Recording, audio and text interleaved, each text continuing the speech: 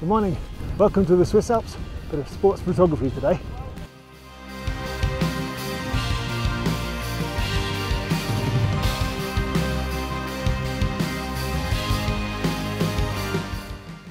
First shot today, we found a glacier cave here, big cornice over the top of it, and if I can get the uh, get the sun behind the skier as Chris comes off over this cornice, hopefully it'll be backlit, any snow flying around will look nice and bright, and he can hopefully jump down onto what's some nice soft snow behind me down here.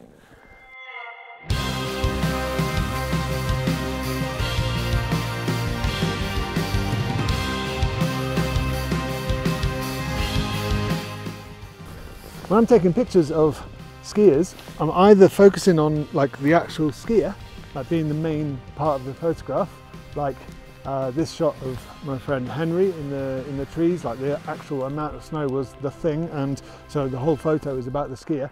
Or this photo of Henry, where we've got a bit more of a vista with the Matterhorn behind, is uh, is when I try and incorporate a bit more landscape, as it were, into the image. And this photo now, taken with Chris, is actually a bit of both, I guess. The ski is going to be pretty big in the frame, but the background is really important because we've got this cool ice cave down behind here and, uh, and the Breithorn, Lyskamm and the, and the Monte Rosa in the background.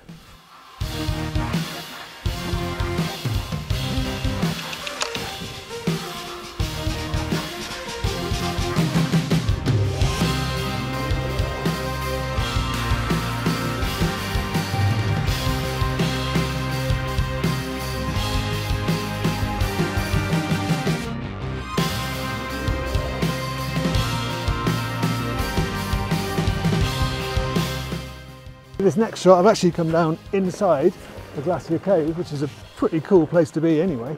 And uh, there's a big bank of snow coming down into the into the cave. I'm hoping with the wide lens to have the top of the frame covered by the uh, by the entrance to the cave and Chris is going to ski down the bank of snow towards me and we still although it's cloudy behind there's bright sun on the uh, on a section of snow just at the top so hopefully that's where the photo will be but with a wide lens he'll be very small in the photo cool spot to take a photo.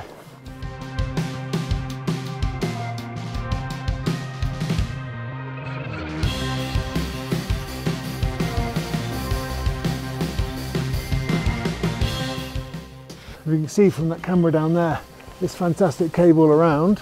I'm not using that whole thing for this shot now, just this section on the right hand side and I'm putting Chris in the top left of the frame. This ice has got these fantastic lines in it which lead up to where Chris is going to be doing his stunt and hopefully he'll carry on skiing down here so although he's going to be really small in the frame up there this uh, section afterwards when he gets down deeper into the snow here will be a better skiing shot and less of a landscape shot with a skier in it.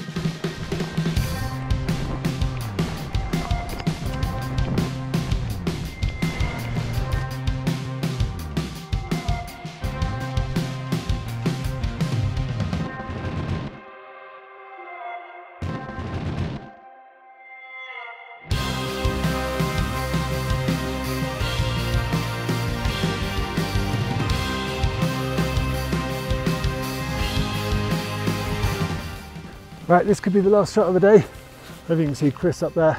He's to come skiing down. We've got another ice cave down below here, and there's a soft ridge of snow uh, kind of around the edge of it. So I'm hoping he's going to come down, hit this soft ridge of snow, spray some snow. The uh, wall of the ice cave is in behind, and uh, it's in the shade. So hopefully the backlit snow is going to stand out against that, and yeah, should make for quite a nice shot. As a ski shot, it's not ideal because he's going to be turning away from the camera, but but just as an overall, using the blue of the ice, the orange of his jacket, the snow being sprayed, it could be quite a good shot.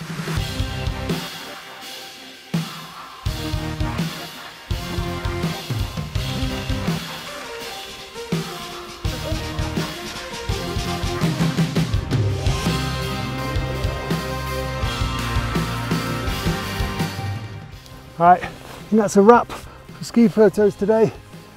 We're off, go and hunt out some more snow, maybe do a few turns, but the camera's probably going away for the day. So thanks ever so much for watching. Hope you enjoyed the video.